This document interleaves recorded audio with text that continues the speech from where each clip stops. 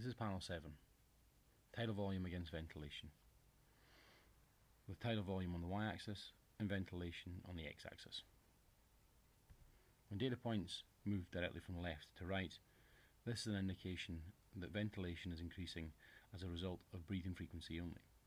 As seen here, the tidal volume isn't changing much from 4 litres, yet the ventilation is increasing. This leads to a common misconception that data points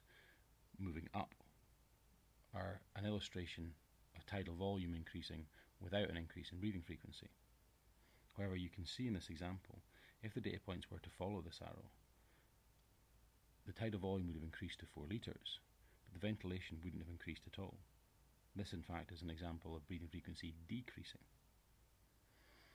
Instead, if we see data points moving directly out of the origin of this graph, this is an example where ventilation is increasing as a result of just tidal volume and no breathing frequency increases. This is why by convention, two isopleths for breathing frequency are plotted on the graph. The upper one at 20 breaths a minute and the lower one at 50 breaths a minute. This is because these are rates where the patient usually starts at and adults will rarely get past 50 breaths a minute. We can also put the inspiratory capacity on the graph and the maximum voluntary ventilation. And this will help bound the patient's breathing reserve, which is usually 15 to 20% down from maximum voluntary ventilation. What we can see in this example is the patient has started to incur on that breathing reserve and is getting close to reaching their maximum ventilation. This may be indicative of a degree of ventilation limitation.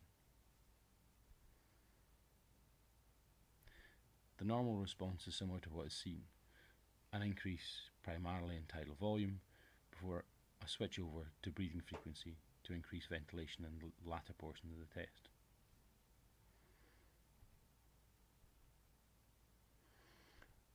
An initial increase in tidal volume may indicate a degree of dynamic hyperinflation, and obstructive patients may well increase their tidal volume, but be unable to increase their breathing frequency, as the increased intrathoracic pressure results in a collapse of small airways and a significant feeling of dyspnea, which may, re- may result in the end of the test.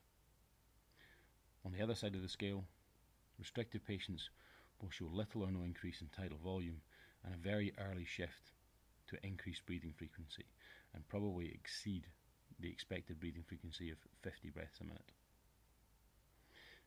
If the pattern doesn't follow these general patterns, but instead shows a different type of shape or even no relation to one another and quite a chaotic spread, this may be indi- indicative of a degree of dysfunctional breathing.